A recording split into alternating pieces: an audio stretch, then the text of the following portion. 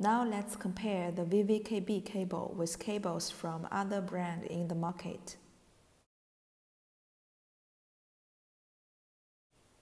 VVKB cable uses Teflon as cable insulation, which can resist fire and high temperature.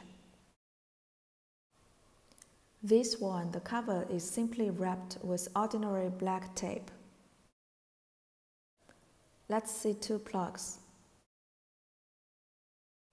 This one is made of ordinary ABS plastic, while VVKB1 is made of nylon, which is fire resistance. It's hard to see with naked eyes. It needs to test with long-term working. About the cable, their diameters are different. This one is only 1.2 or 1.5 square millimeters, while VVKB has 2 square millimeters which supports heater to start with high current and won't let the cable become too hot.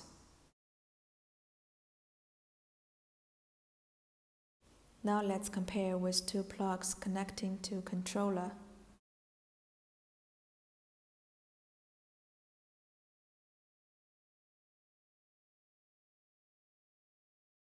And also plugs to main power.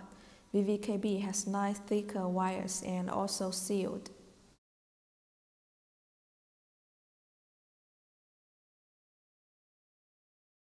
While this one with seven thinner wires without sealed.